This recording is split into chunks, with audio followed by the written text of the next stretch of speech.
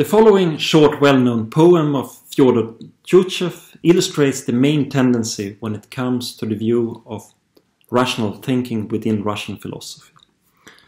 You will not grasp her with your mind or cover with a common label, for Russia is one of a kind. Believe in her if you are able.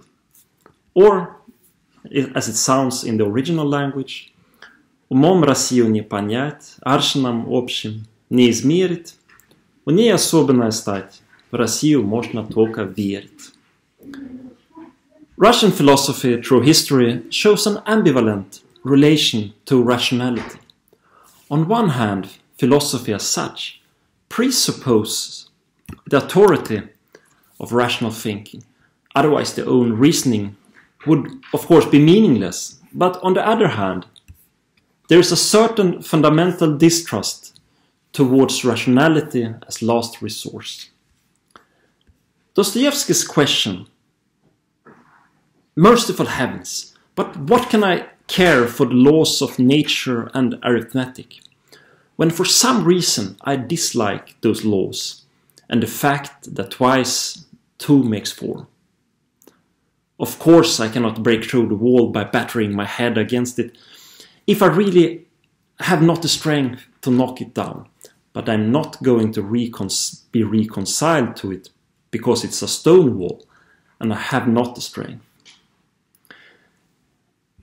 it actually showed the relative role of pure reasoning in Russian philosophy. And as mentioned during the introduction, the great Russian philosopher Simeon Frank, by the way, Edmund Husserl's uh, contemporary friend, introduced the concept trans-rationality, embracing not only rationality, but also irrationality and all possible possible nuances of reasoning, perception, intuition, feeling, etc. And once again, we are here in this context actually closer to Indian wisdom than to other branches of Western philosophy, where you seldom find this kind of introspective perspective of mental capabilities from a cognitive, cognitive point of view. And not only Dostoevsky, but many other Russian thinkers were very critical towards Western rationalism, finding it unhuman or even unworthy in relation to human existence. For example, Leo Shestov claiming that a belief or philosophy, and here one should keep in mind that there is often no clear border between uh, these two concepts in, in Russian philosophical tradition. That is not able to make the done undone would be of new use. In this concept, many Russian philosophers are surprisingly close to American pragmatism, especially the original one presented by William James, and also to Kierkegaard's existentialism,